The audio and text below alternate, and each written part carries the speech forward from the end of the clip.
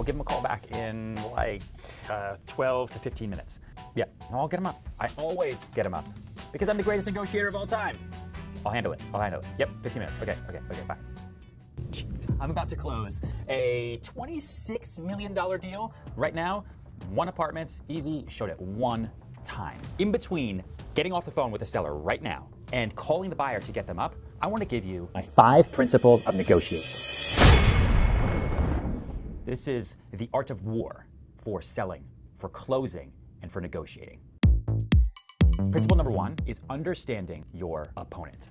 I try to learn as much about the other side of the transaction as I can. At a bare minimum, if there's another salesperson on the other side of a transaction that I'm doing, I want to find their past sales. I want to read their website. I want to look into their LinkedIn bio. Do they make TikToks? Do they have different accounts? Are they still on Tumblr? Then, when you meet, I want to watch their body language.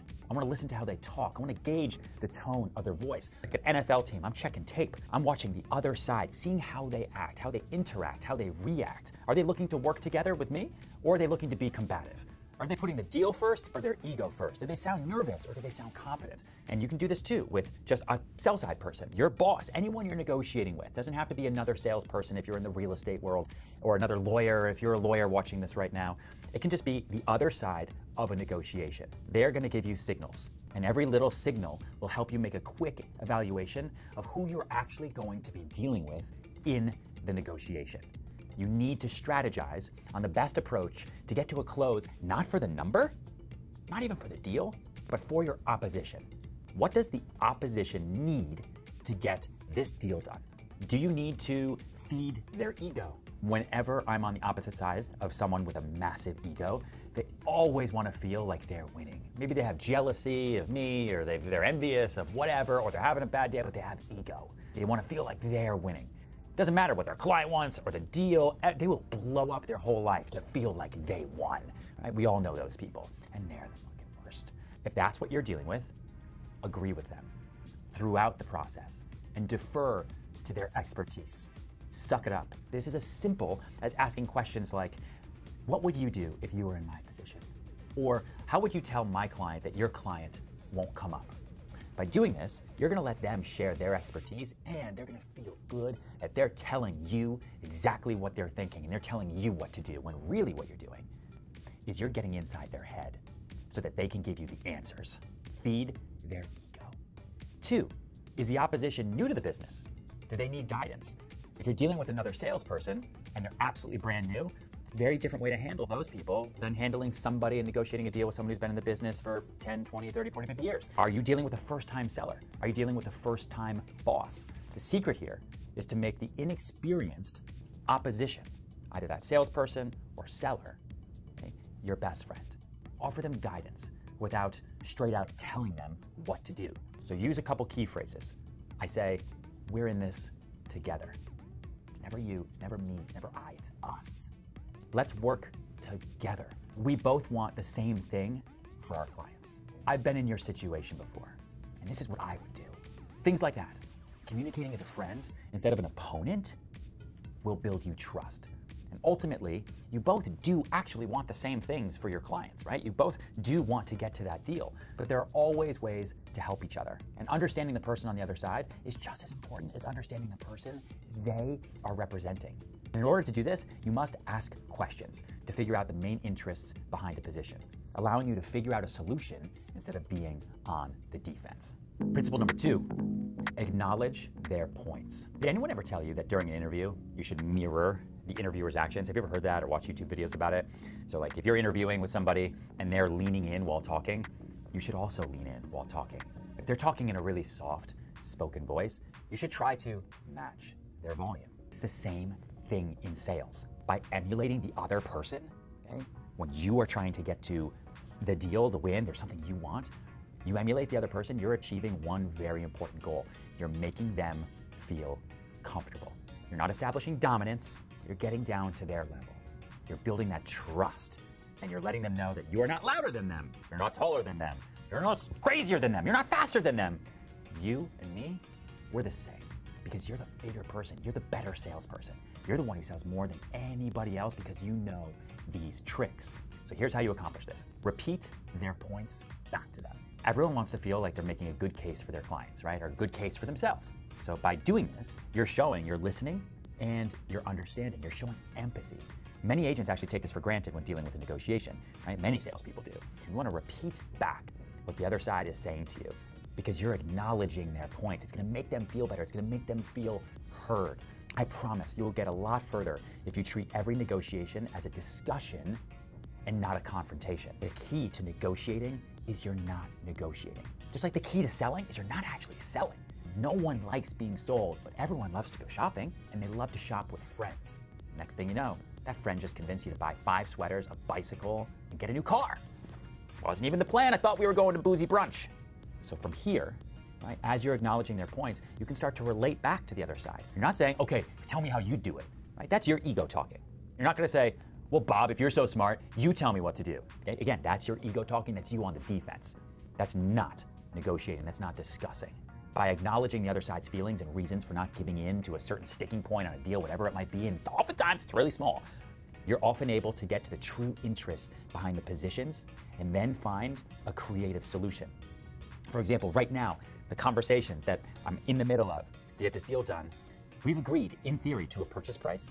The issue is the seller's apartment we furnished, okay, by buying the furniture. But when you do that through a designer, you don't pay the sales tax until a deal closes. So now my seller wants the buy side to pay a sales tax. It's $1.2 million worth of furniture. That sales tax in New York City is about $115,000 in tax just on the furniture that the buyer thinks is used. I'm not paying tax on it. Include the furniture to get me to buy this place for $26 million. You're gonna hit me with sales tax? I get both sides of it. So it's not even about the deal, it's not even about the money, it's about the principle. And it's my job to understand the opposition for the seller I represent and for the buyer that I'm also handling at the same exact time. Principle number three never, ever, ever, ever, ever push for a yes. You don't want to ask questions that people can say no to. You don't say, hey, can you meet tomorrow? That's pretty easy to say, nah, I'm busy. Right? You say, how's tomorrow at 10 or 4? That's hard to say no. They have to think about it. They have to say, oh, neither of those times work. I will have to do the next day, right? You get people thinking because you don't want saying no to be easy. It's like a little kid. Little kid learns the word no, it's all they say because it's easy, it's fast, it's fun. Saying no asserts dominance. I'm two years old. I learned how to speak now. You big person. No, no, I'm not gonna eat that. No, I don't wanna take it back. No. Adults in negotiating are the same. When people tell you yes, sometimes it really means no if you're pushing for the yes. Yes is an easy way to get you off the phone without having to experience the discomfort of a no because people don't like confrontation. So, what you really want when you're negotiating is a no. Let me explain how this works in sales. Getting to an agreement is your ultimate goal, right? If you asked anyone that, they would probably say yes. However, it's not that simple when you're actually trying to merge a gap on a deal during a negotiation. Everyone wants to be right. Everyone wants to feel like they win. So, why would they openly agree with your suggestion, especially if they want their client to think highly of them? Or if the seller wants to feel like they're winning? Get to a no, the grown up no. So, for example, would it be terrible if you got your buyer up an additional $10,000? You see what I'm saying? If you asked that question, hey, would your client come up 10 grand? They'd probably say, no, this is our bottom line, absolutely not. I told you, I've given you every penny. But if you change the question, the default no actually gets you a step closer. Another example Does your seller really want to lose a qualified buyer? See what I'm saying?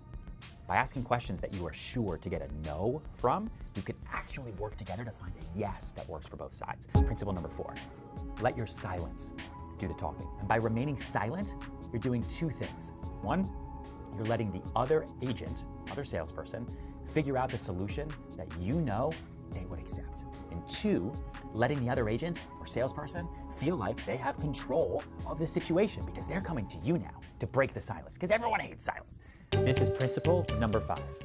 Sounds simple, is it a tough one? Keep it positive. The second you lose control of your emotions, the deal is dead. It is super important to remain calm and positive throughout the entire deal. No one likes to negotiate when negative feelings are involved. It just doesn't. It's uncomfortable, it's confrontational, it sucks. Let's move on, right? The best deals get done when both sides are happy.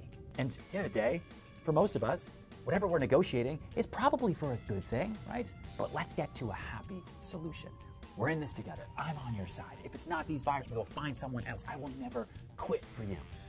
It is important to always maintain positivity during a deal when the deal is good, and especially when the deal is bad. Because without it, there is no deal, there is no client. And then you're the person who loses more than you win. And with these principles in mind, you're going to be able to take your negotiation skill set to the next level, but we are just scratching the surface. Play this video back, study each principle, but most of all, practice them. You're to close better deals when you do. Selling is a muscle. Some people have that muscle from birth. Some people have to work at it, like I've had for the last 15 years. Everything I'm giving to you, I've learned through trial by fire.